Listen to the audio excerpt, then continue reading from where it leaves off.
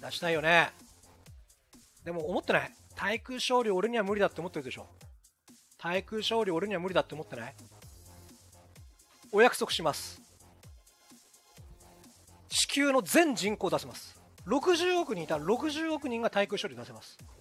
やり方知らないだけ。絶対に出ます。やり方教えますね。やり方教えます。はい。まず最初に、相手が飛んできたところを、対空昇竜拳が出せる。対空昇竜拳が出せる人は、えっ、ー、と、まあ、対空昇竜だけやってください。ずっと。まあ、1日もう5分でいい。これだけ繰り返し繰り返しやって。対空昇竜拳が出せる人はもう1日中これやってください。それでいずれ出るようになる。いずれ本番でも出るようになります。断言いたします。対空昇竜拳がもうすでに意識をしていれば出せる人はこれを反復するだけでいずれ無意識で出るようになります。簡単です。だからもう対空昇竜拳意識して出せる人はこれの反復するだけ。うん。あとはこれを前に続けるだけ。めちゃめちゃ簡単。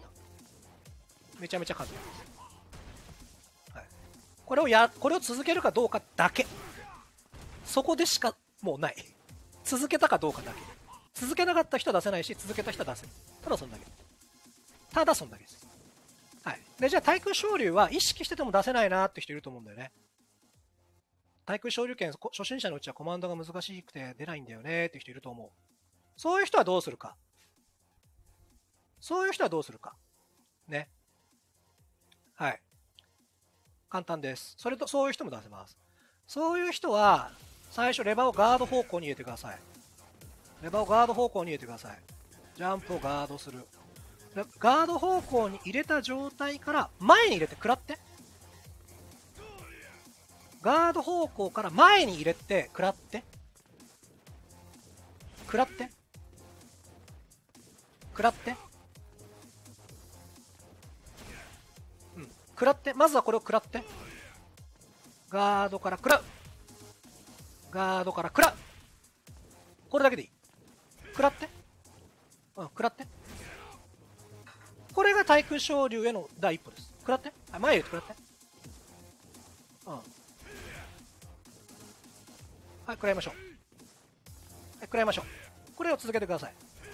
で、これが完璧にできるようになったら、これを完璧にできるようになったら、えっとね、ちなみにね、これ、ジャンプやってんだけど、慣れたらね、別なのも入れとくといいかもしれない。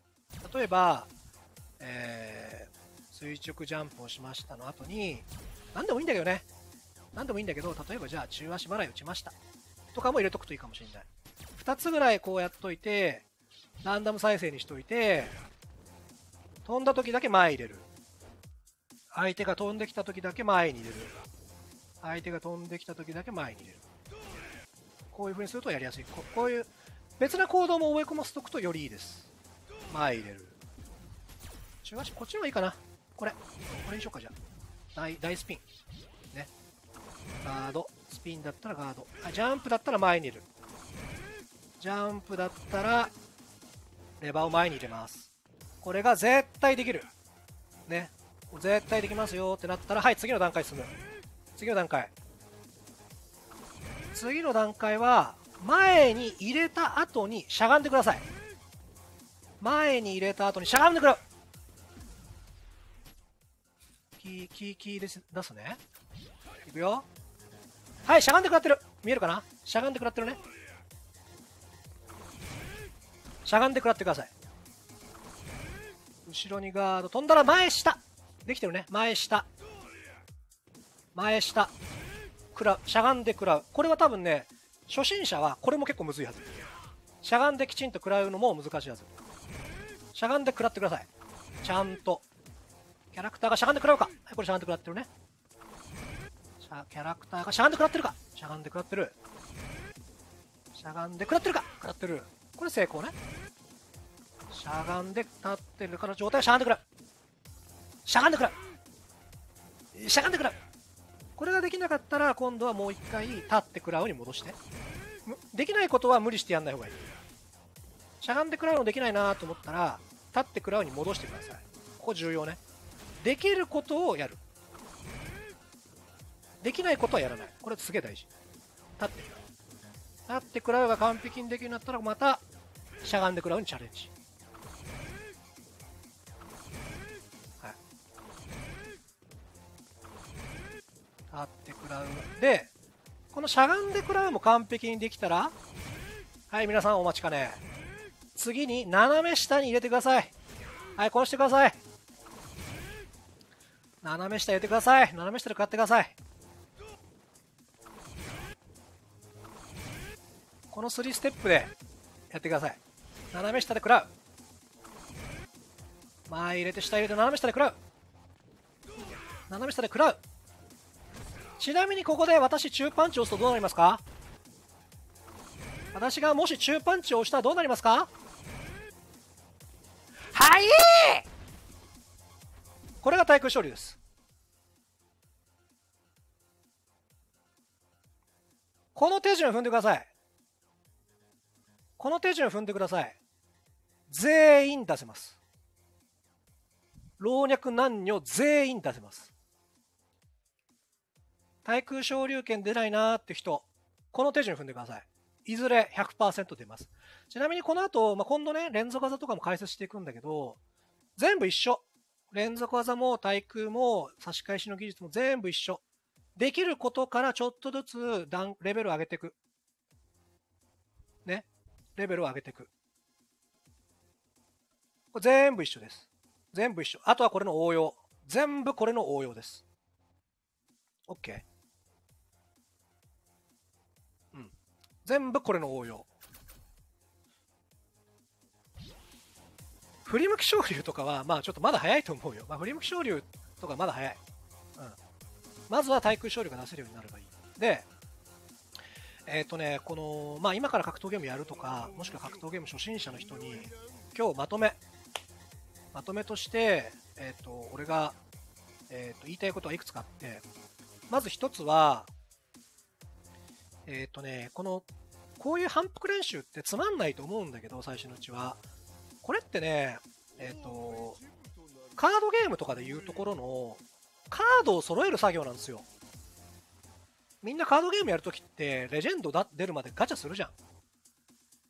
自分のさ、戦略に組み込むためにどうしても必要な、あの、カードをさ、出るまでさ、ガチャするでしょ？それと一緒なんだよね。うん。で、カードゲームと違うところは、えっ、ー、と、時間がかかるレ。ジェンドを引くまでに時間がかかっちゃう。